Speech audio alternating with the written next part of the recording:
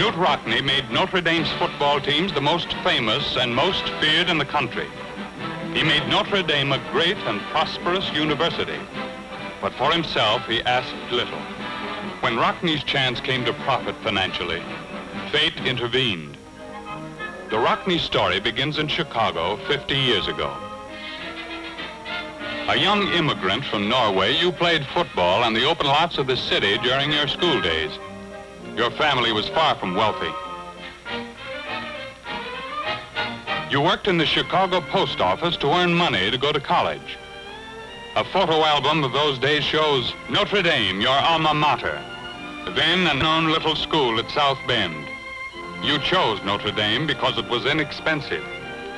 In 1913, you were a star of the track team and captain of the football team that defeated mighty West Point. Graduating, you became an instructor of chemistry at the school.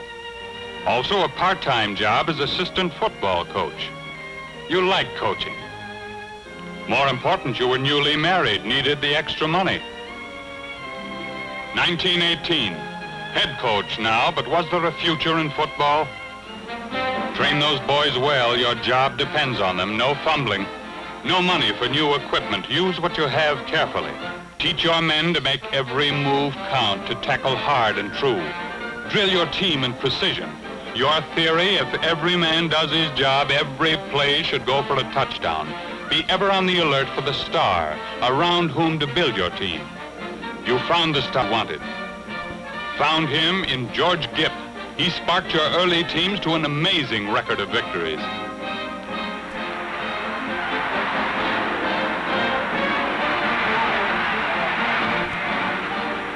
Untied and undefeated in 1919. Untried and undefeated in 1920. Then a tragedy.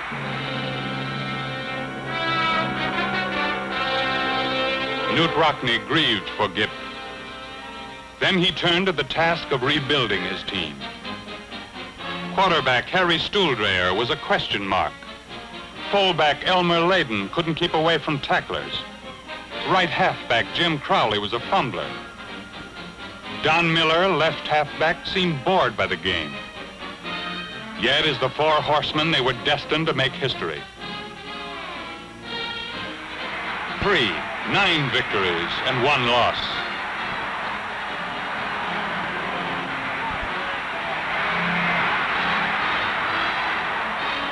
1924, untied and undefeated. They became front-page news, nicknamed the Wandering Irish and Rockne's Ramblers. The climax, an invitation to play against Leland Stanford in the Rose Bowl. It was Notre Dame's first trip to the West Coast. The team was weary. Stanford was fresh and strong. On the bench, Rockne watched anxiously, but he need not have worried. Notre Dame won the game decisively.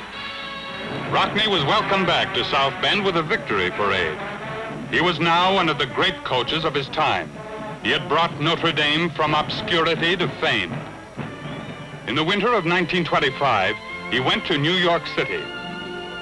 Columbia University was interested. Rockne wasn't earning much at Notre Dame. Would he consider a change?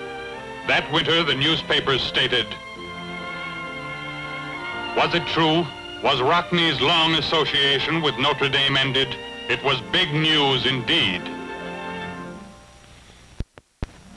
Had Knute Rockne agreed to coach Columbia? We'll never know. When Rockne returned to the Notre Dame campus, he denied it. When I quit coaching Notre Dame, I'm through with football. 1928, a new season with new faces and problems. The mighty Four Horsemen were gone. That season was the most disastrous of Rockne's career. Could this team defeat West Point, Rockne's traditional foe? It didn't seem likely. But if they could, other losses would be forgiven. 80,000 spectators crowded Yankee Stadium that year to see Notre Dame in action against West Point, the big game of the year. The boys from Notre Dame were the underdogs, fighting with their backs to the wall. Army's great backfield tore the Irish line to shreds. The boys from South Bend fought back as best they could during the first half, trying to hold down the score, but West Point seemed destined for victory. On the bench, Knute Rockne suffered with his players as they were driven over the field. The spectators waited for the Army triumph that seemed sure as the first half ended. The Notre Dame team's dressing room. Inside, Knute Rockne spoke quietly to his players. He told them of the request George Gipp had made eight years before on his deathbed. When the brakes are hurting the boys, Gipp had said, tell them to go out there and win one for the Gipper. This was it, Rockne added, the game to win for George Gipp.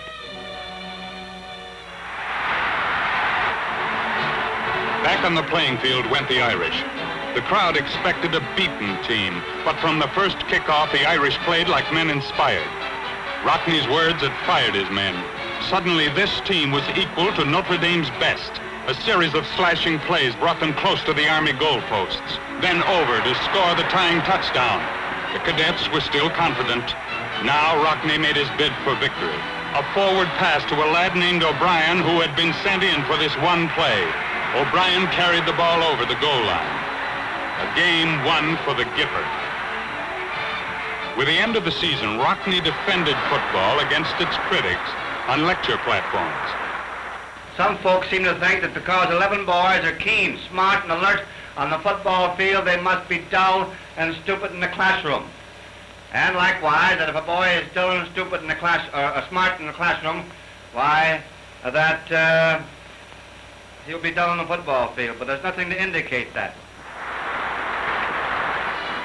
Because of the previous season, you had your own critics, but you predicted that next year's team would equal the best.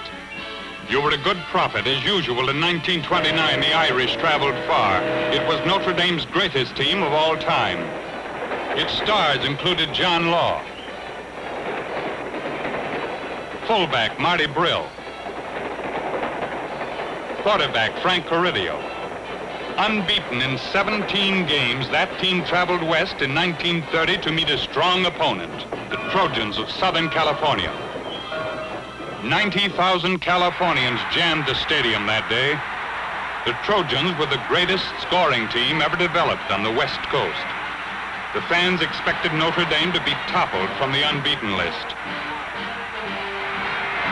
They saw precisely the reverse.